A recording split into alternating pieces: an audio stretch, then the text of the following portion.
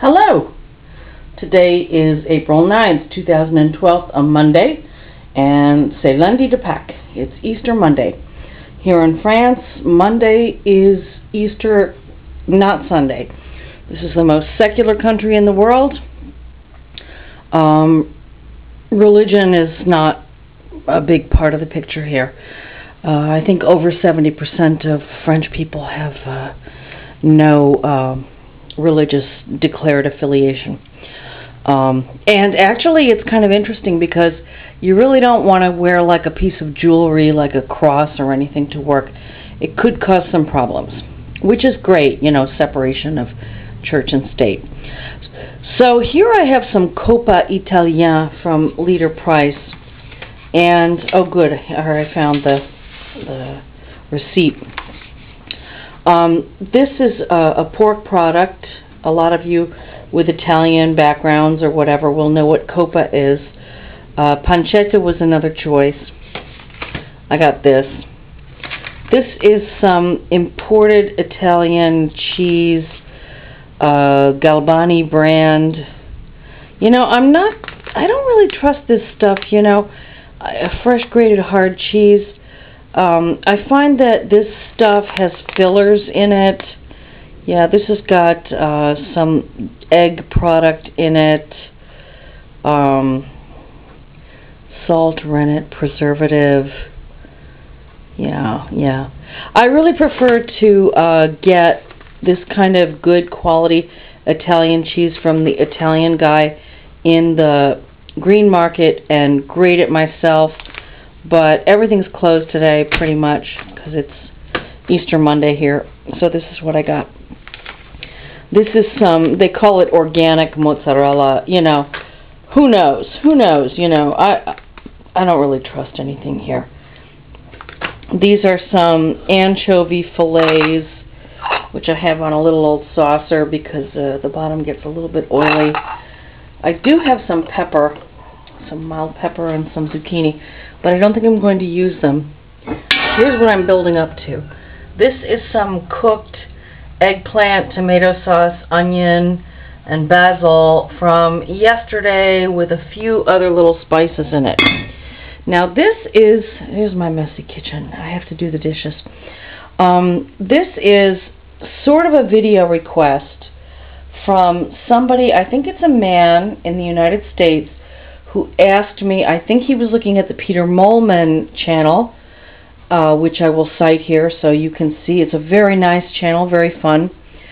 And he wanted to know what the pizza recipe, home pizza, was that I had cited.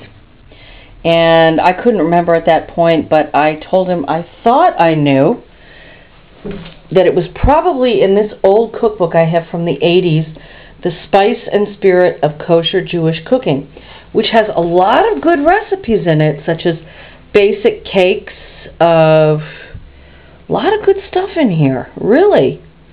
And the pizza recipe in here I like a lot because um, I'm American born. I do like pizza. I live in France, and France is the number two pizza eating country in the world. But the pizza here is generally dreadful.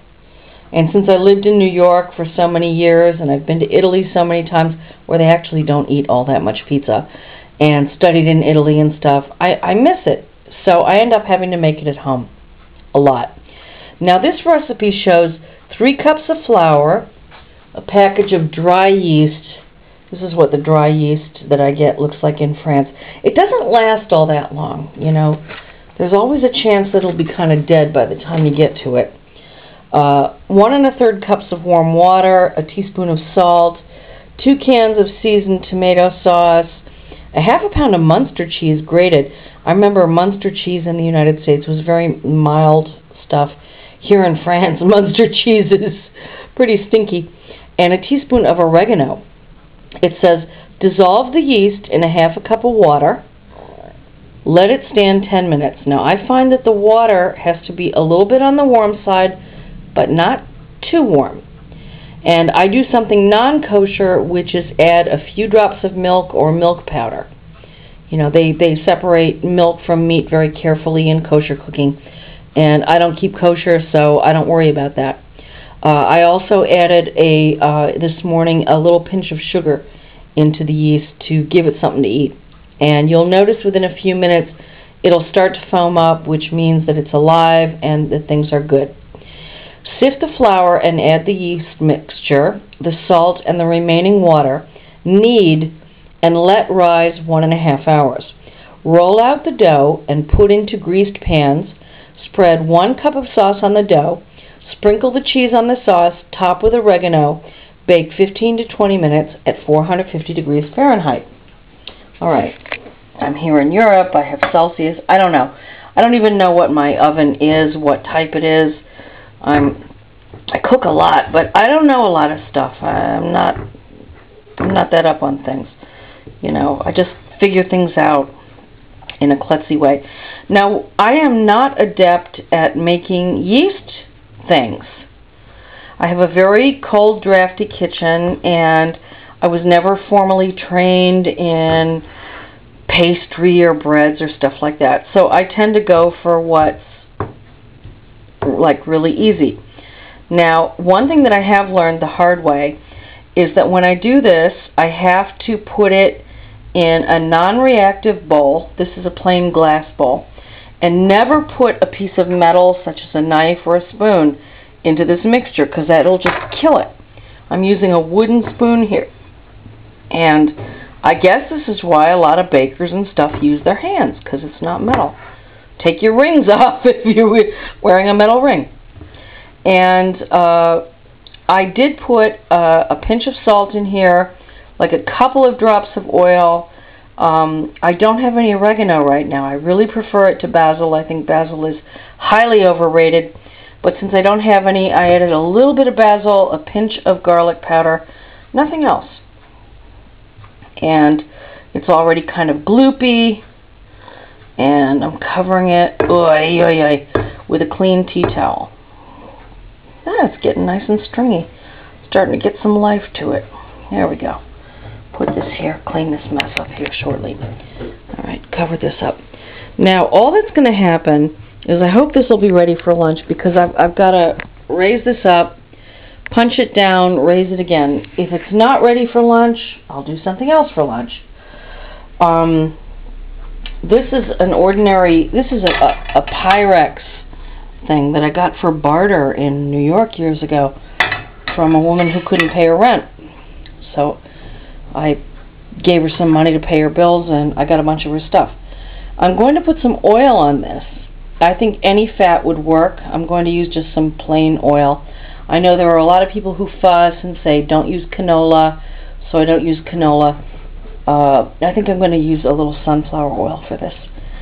And um, I'm going to just, with clean hands, probably with a little oil on them so it doesn't stick, press this dough down in here and put some of this vegetable mixture on it. Not very much. The less you use for this recipe, the better. It is the craziest thing. And um, put a little bit of mozzarella, parmesan cheese, a little bit of coppa, a, a, a few um, anchovies, maybe chopped. Uh, I think I'm probably going to save the pepper for another meal.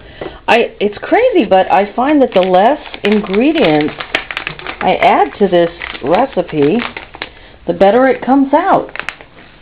This is like a really plain, basic home pizza recipe that nearly always works. What I can't figure out is why it comes out so much better sometimes than other times. You know, this is one of the mysteries of life. I think that I may be paying more attention to getting the dough to rise, punch it down, let it rise again, and um, having the oven nice and hot. Now, as far as pizza going, pizza making goes, you know, if you've got those nice pizza tiles and nice pizza materials. This is just about all I have left from the United States is a pizza wheel. You know, they don't even know what this is in France. It's pretty funny. Um, at least not the people I know.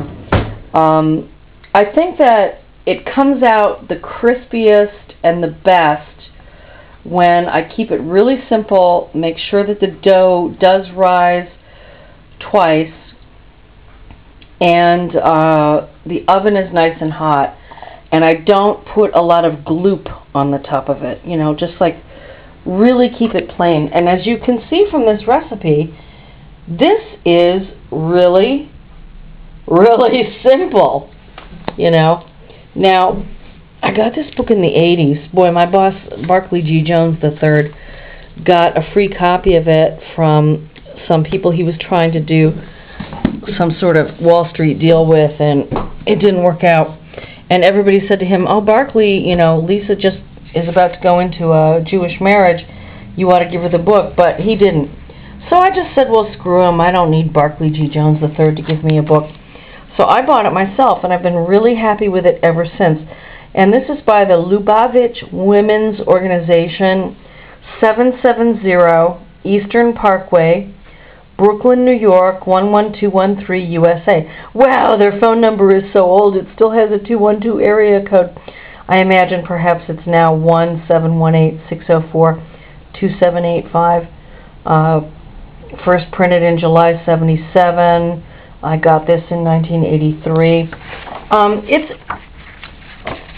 I like I like all types of cookbooks. I, I really find that I get something from almost all of them. This one has a lot of explanation in it about Jewish holidays and stuff.